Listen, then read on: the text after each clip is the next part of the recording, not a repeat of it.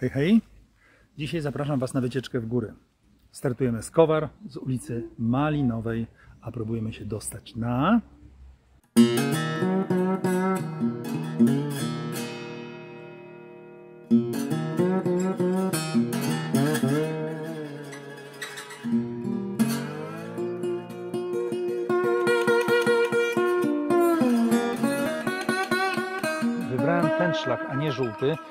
który startuje z ulicy Leśnej, dlatego że kiedyś szedłem tamtym szlakiem i początek jest bardzo, bardzo nudny.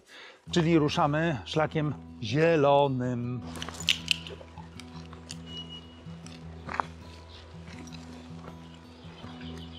Początek jest bardzo przyjemny. Idziemy sobie ścieżką w takim jakby parku. Jest dużo przyjemniej niż tam, bo tam taki asfalt. Także póki co wybór trasy się sprawdza. Zaraz na początku Wam jeszcze powiem, że dzisiaj mam zamiar opowiedzieć Wam swoje przemyślenia na temat butów do chodzenia oraz pokażę Wam jedną super ciekawą rzecz, mianowicie termos. Jak może być ciekawy? Może być. Obiecuję, że się zdziwicie.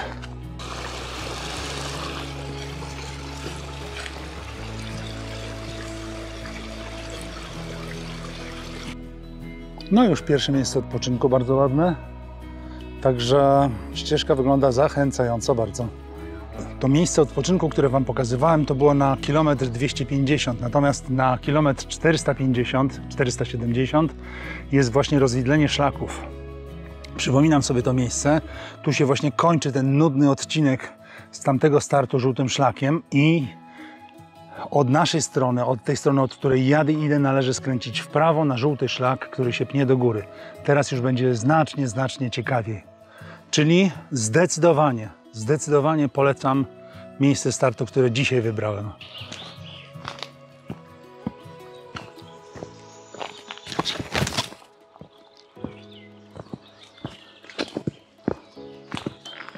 Po niecałych dwóch kilometrach wychodzimy na taką szutrową ścieżkę.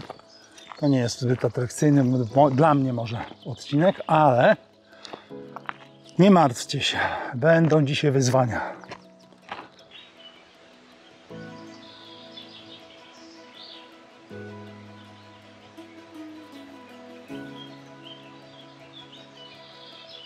Po trzech kilometrach ścieżka szutrowa się kończy i zaczyna się w końcu prawdziwe chodzenie po górach. Tutaj jest takie ujęcie wody.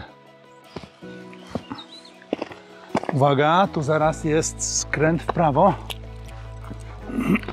Jak pamiętam, będzie taki fajny mostek do przejścia przez strumień. Tutaj skręcamy w prawo. I jest mostek, jak o którym mówiłem. Bardzo fajny, uroczy mostek.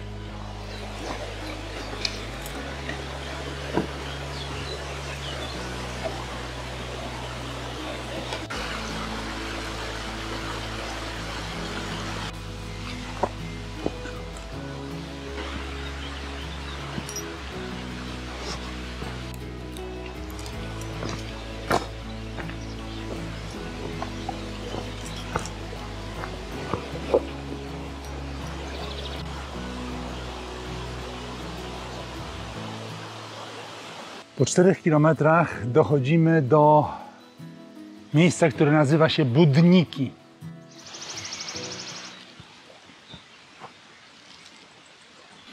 Budniki były małą osadą, która powstała w latach 1618-1648 podczas wojny 30-letniej. Zbudowali ją ludzie, którzy próbowali schronić się w Karkonoszach przed okropieństwami tej wojny.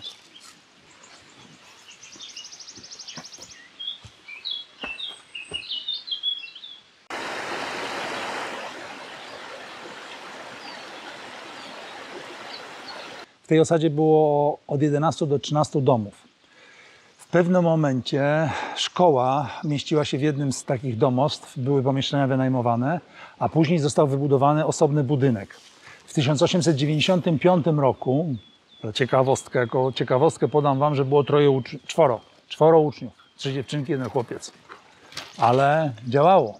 Za Prusaka wszystko działało. Z czasem zaczęto stawiać tutaj na turystykę. W W 1889 roku powstała pierwsza gospoda. Miała 16 miejsc noclegowych. Później e, niedaleko e, od niej powstała druga gospoda. Teraz największa ciekawostka. Przez 113 dni w roku tutaj jest całkowicie zacienione miejsce. Nie ma słońca, nie widać. Dlatego też mieszkańcy tej osady mieli taki zwyczaj, że 26 listopada żegnali słońce, a 15 lutego witali słońce. Dobra, koniec tego wymądrzania, ruszamy w drogę.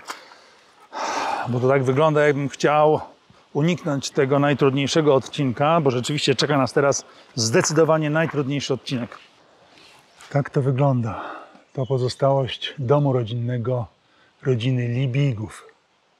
Po chwili szlaki się rozchodzą. Idziemy dalej żółtym, a zielonym będziemy wracali. Tu w międzyczasie jest zejście na taką znowu szutrową drogę, bardzo krótkie, ale pamiętajcie, trzeba pilnować żółtego szlaku. To jest bardzo ważne. Zaraz właśnie będziemy skręcali w prawo. No i z tego co pamiętam, to prawdziwa zabawa zaczyna się teraz. Robi się bardzo stromo, kamieniście. Podejście jest rzeczywiście wymagające.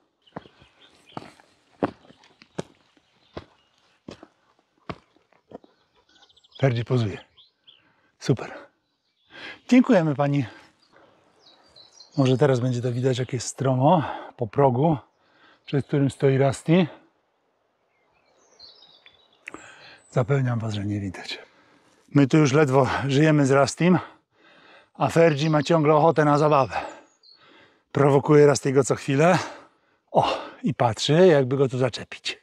Nie da się jej wytłumaczyć, że my ledwo żyjemy. No proszę bardzo, właśnie. Jeszcze kijek i zaproszenie do zabawy. I niby ja mam się z nią szarpać i ciągnąć ją. Minieczko, ja już nie mogę. Ja już ledwo żyję, ty. Ja już nie mam siły, a ty co? A droga zamiast się wypłaszczać, staje się jeszcze bardziej stroma. Z drugiej strony, nie miejmy pretensji, że idąc w góry i chcąc wejść na górę, droga jest pod górę. Jakby naturalne. No, ostatni odcinek dał mi trochę popalić.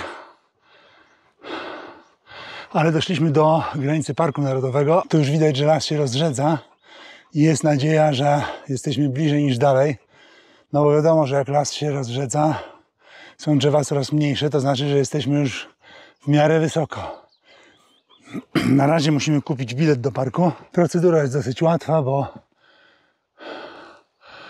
można wczytać QR kod.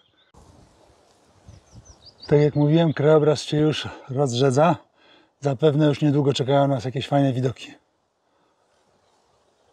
I oto pierwsza nagroda.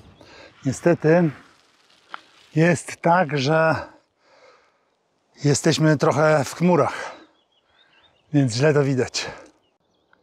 To są właśnie prawdziwe nagrody za wspinaczki.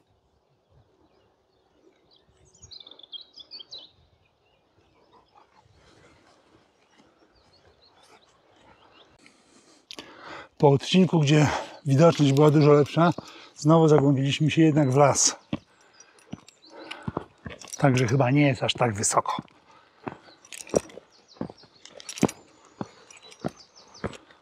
Ostatni odcinek jest bardzo stromy znowu. Ale tak sobie myślę, że dla tych, którzy wolą łagodniej wchodzić, to jest droga, którą będziemy schodzili i równie dobrze można zrobić to odwrotnie. A zejść po tych kamieniach, ja wolę wchodzić.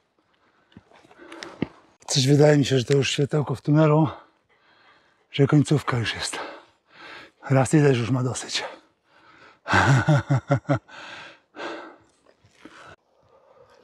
Idziemy naprzód, Rusty. Znowu cudowne widoki. Kurczę, ja to lepiej dużo widzę niż wy. Zapewniam was, że jak tu wejdziecie, to będzie 100 razy lepiej niż na tej kamerze. No nie jest tak źle. Mamy szczęście, bo ten szlak, na którym my idziemy, jest otwarty. Natomiast zamknięty jest szlak w kierunku przełęczy Okraj.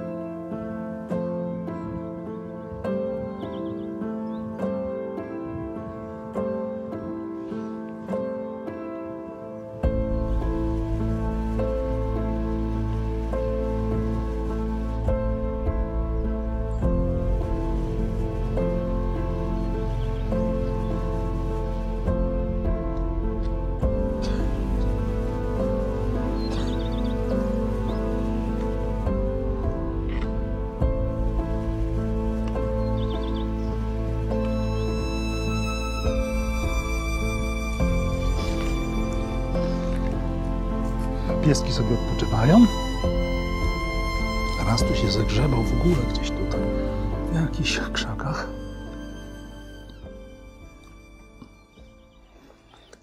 A teraz pierwsza z rzeczy, które Wam obiecałem. Termos dla koneserów herbaty. Polega to na tym, że mamy w dolnej części gorącą wodę, w górnej części mamy herbatę, która jest niezaparzona, wsypana dopiero, świeżutka, sucha.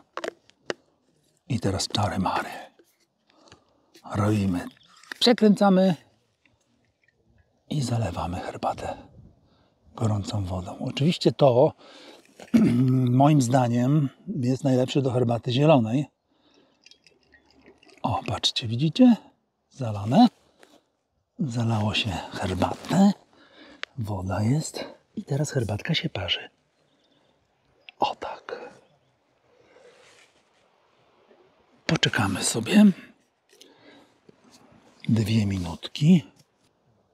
Myślę, że możemy zrobić tak coś, takie coś, że jeszcze raz to zlać i przelać. Widzicie? I znowu wlewamy.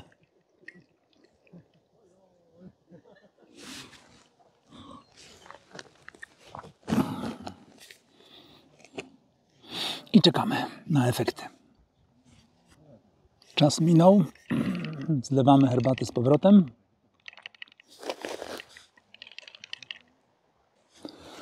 Odkręcamy.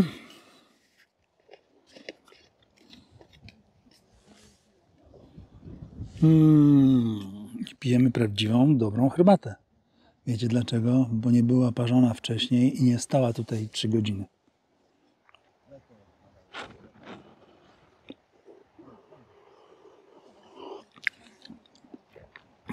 Pycha.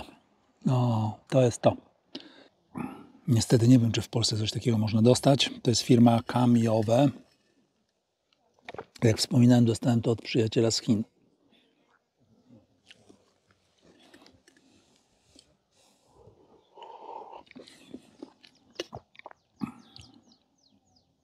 Skoro się weszło, no to trzeba zejść. Ruszamy w dół. Do tej pory przebyliśmy 7 km. Zobaczymy, ile nam zajmie droga powrotna.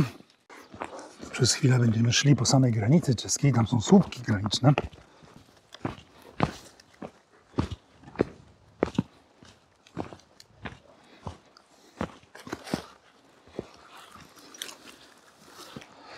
Jeszcze jedna ważna uwaga. Schodzimy w dół szlakiem niebieskim.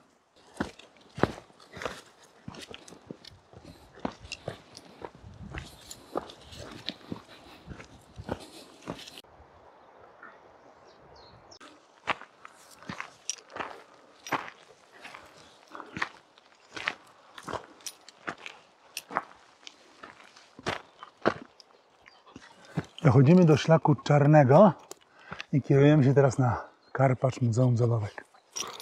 Fajna kładka przed nami.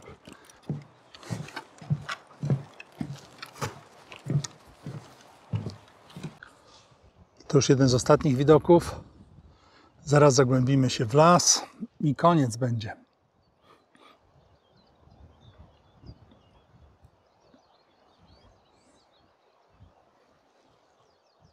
Schodziliście kiedyś w dół i mieliście wrażenie, że buty robią się nagle małe, bo palce lądują na czubkach i ocierają się. Ja miałem to ciągle. A wcześniej zastanawiałem się, dlaczego często firmy robią trochę wąskie buty. Skoro ja mam taką szeroką stopę i dużo ludzi ma taką szeroką stopę, to dlaczego oni tak robią takie wąskie? No i w końcu zrozumiałem. Po pierwsze, nie dyskutuję na temat tego, czy krótkie, czy długie. Ja mam krótkie teraz. Jak jest jesień, zima, mokro, mam długie. Ale nie polecam krótkich absolutnie, żeby nie było. Krótkie ma, mogą spowodować, że nam się gdzieś tam kostka skręci, więc jest to ryzykowna rzecz. Każdy musi to wziąć na swoje ryzyko, zmierzyć, zważyć.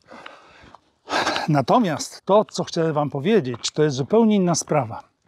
Odkryłem, że jakby starą prawdę, no ona jest, to jest wiadome, że buty mm, powinny być o numer co najmniej większe.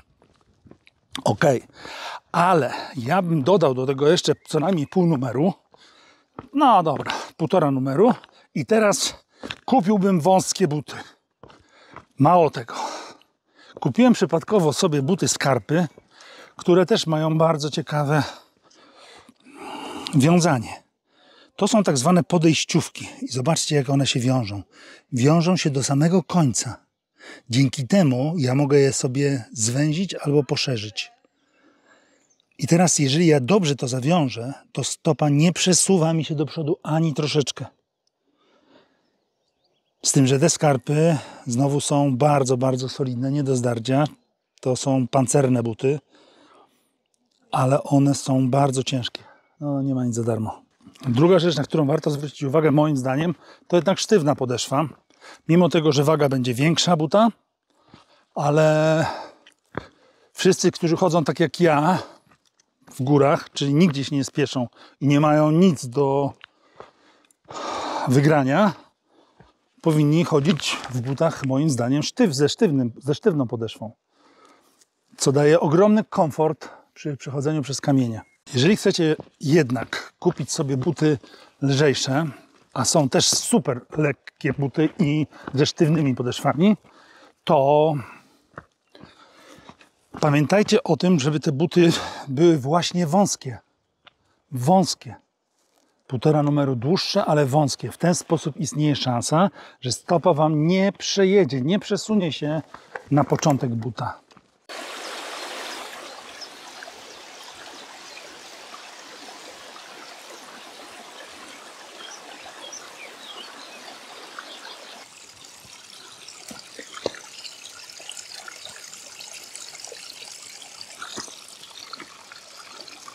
Taki mały strumeczek i zobaczcie, co on tutaj robi. I jaka powódź na drodze z tego powodu. Mówiłem, że ładnych widoków nie będzie, ale to też jest przyjemnie popatrzeć na taki strumień płynący w górach. Dochodzimy w końcu do rozejścia się szlaków. To jest dziewiąty kilometr naszej wycieczki. My będziemy skręcali w prawo, wracając do Budnik. To się nazywa Sowia Dolina, 820 metrów nad poziomem morza i czarnym szlakiem dalej idzie się na Szeroki Most i na Karpacz. My idziemy teraz żółtym do tabaczanej ścieżki.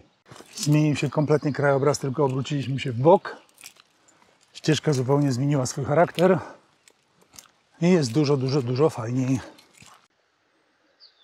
Może ktoś tego nie wie. To jest sól, którą się rozkłada w lesie. Jak deszcz pada, ona się topi i spływa po konarze, a zwierzęta to liżą. No i dostarcza im to soli i mikroelementów.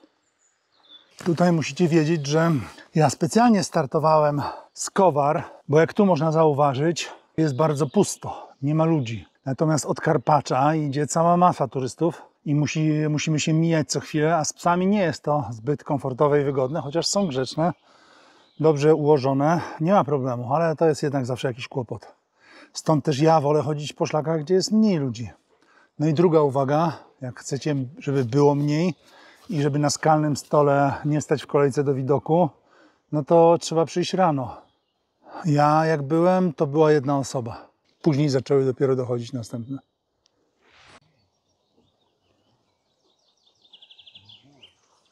Żółtego szlaku zeszliśmy teraz na szlak zielony i to jest tak zwana tabaczana ścieżka. Wiecie dlaczego tabaczana ścieżka? Bo w XIX wieku rozpowszechnił się tutaj bardzo przemyt. No i między innymi przemycano tędy tytoń.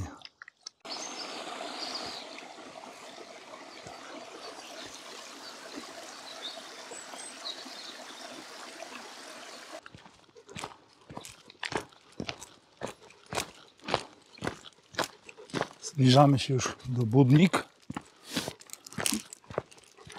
I w ten sposób zatoczymy koło. I oto jesteśmy. Na tym samym mostku, na którym byliśmy, koło zatoczone.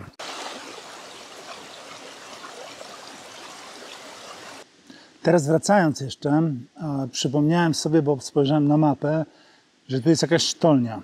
No i przypomniałem sobie właściwie, dlaczego te budniki zniknęły z powierzchni Ziemi. Wiecie dlaczego? Bo tu w latach 50. ubiegłego wieku zaczęto szukać uranu. I to był główny powód.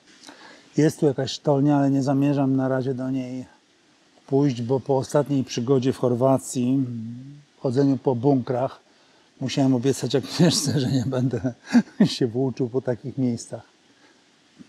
Także dotrzymuję słowa. Nie będę nagrywał tej samej drogi z powrotem, więc na razie się żegnamy i spotkamy się przy samochodzie już. Przeszliśmy 16,5 km i do samochodu mamy może jeszcze z 200 metrów. Także kończymy już naszą wycieczkę. Dziękuję bardzo tym wszystkim, którzy dotrwali do końca. Zapraszam na nasze następne przygody, zapraszam do subskrypcji. I chcę przypomnieć jeszcze jedną rzecz, że jak doszliśmy tą trudniejszą drogą na górę, to było 7 km. Tutaj razem jest 16,5, więc ta druga droga, łagodniejsza, którą schodziliśmy, jest zdecydowanie dłuższa. Gdyby to dla kogoś był duży problem, to trzeba sobie to wszystko wyliczyć. Każdy musi mierzyć siły na zamiary. Dla jednego 16 km, 17, 18 to nie jest tak dużo. Dla innego to jest w ogóle pestka, a dla kogoś innego to jest w ogóle nie do zrozumienia. Także miejcie to na uwadze. Pa, pa.